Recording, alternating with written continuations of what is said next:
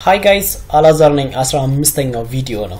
በዚህ ቪዲዮ ላይ ምን እናያለን? inheritance ምንድን ነው የሚለውን ነገር topic እናያለን ማለት ነው። inheritance ምንድን ነው? አንድ class የሌላን class እንደ ራሱ class ለመጠቀም የሚያገለግለው ማለት ነው። ለምሳሌ ቅድም በሌላዎቹ ቪዲዮዎች ላይ እንዳየነው ምንድን ነው አንዱን የአንዱን class instance variable ኦች ለመጠቀም ምን ያስፈልገናል? object reference ያስፈልገናል። ይሄ object reference ያስፈልገን እንዴት የአንዱን object instance variable ኦች እንዴት መጠቀም እንችላለን እንደ ራሱ ማለት ነው። ይህን የሚያገለግለን በምንድን ነው? በምን በመጠቀም ነው? inheritance ን በመጠቀም ነው። inherit ለማድረግ አንድን class እንደ ራስ ለመጠቀም ምን የሚባል keyword አለ? extends የሚባል keyword ን በመጠቀም ምን ማድረግ እንችላለን? inherit ማድረግ እንችላለን ማለት ነው። Okay እዚህ ጋር ምን አለ? ሁለት class ኦች አሉን። የመጀመሪያው class ኤዜድ የሚለው ነው። ሁለተኛው class ደግሞ አዙ የሚለው class አለ ማለት ነው። አዙ የሚለውን extend ለማድረግ አዙ ላይ አሁን ለምሳሌ int a is equals to five አልኩኝ char b is equals to b የሚባል ፊደል ውስጡ ጻፈልን እንበል።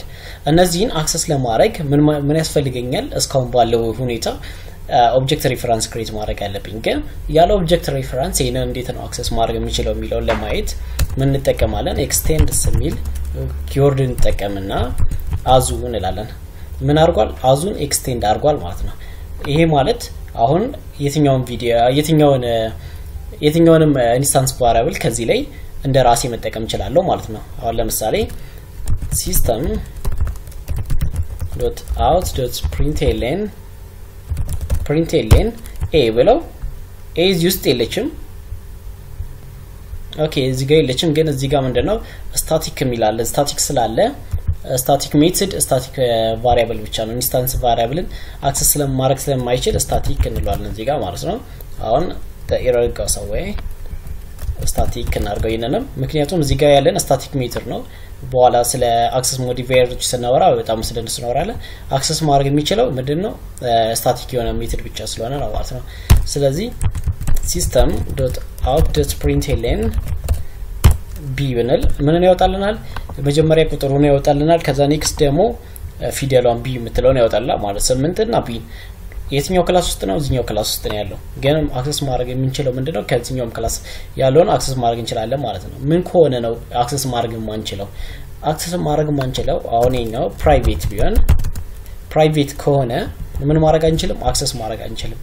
private access መደረግ የሚችለው only in the class ውስጥ ስለሆነ ማለት ነው። ግን protected or ደግሞ የትኛውም ቢሆን access ማድረግ ይቻላል ማለት ነው። አሁን protected ቢሆን